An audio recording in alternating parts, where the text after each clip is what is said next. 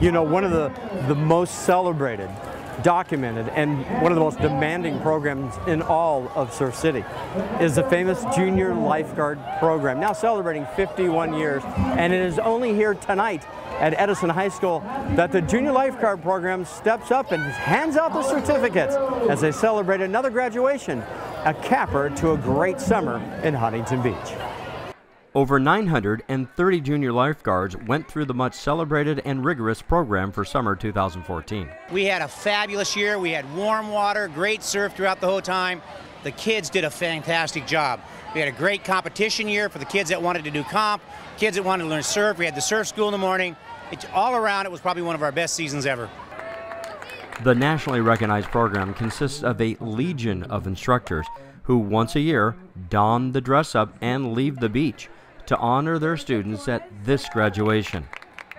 The instructors are revered as the program's key success helpers. What makes this program is the instructors. I think the instructors are, they're all handpicked. They're chosen because of their personalities and because of their skills. And I think that the leadership is, is wise enough that they pick the right people to run the program. The, the instructors are the, the backbone of the program.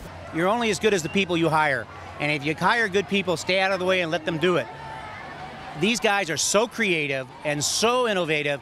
They really have what education needs, and I think that they just get in there and they do it for the love of it, and it shows. So we've been very strong that way. Mayor Matthew Harper, City Councilwoman Connie Boardman took part in ceremonies, along with lifeguard chief Michael Baumgartner.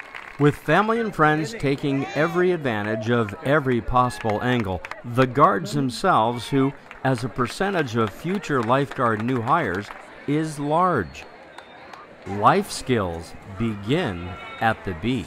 We learned how to give CPR and like like you actually learn a lot of cool first aid stuff. Like I feel more confident if I'm like with I babysit little kids, so if I'm with a little kid, I'll be like, "Don't worry, I can save you."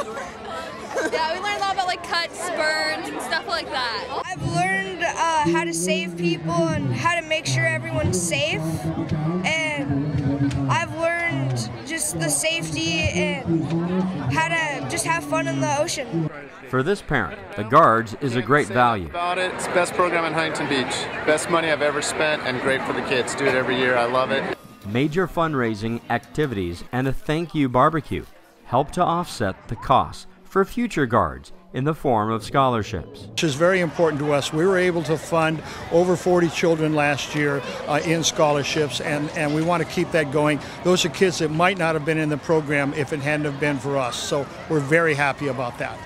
Generations now have gone through the guards and into lifeguarding, a city sponsored, successful tradition. And traditions are important but not just because of a tradition, but because they have results. And these have results. Kids like the discipline. They like the fact that we're an educational program, not a babysitting service. We're there to teach the kids about the ocean. We're there to teach them about physical activity, and they respond to that, and they have just done a great job. From Edison High School and the graduating class of 2014, this is Matt Liffering. For Surf City Highlights,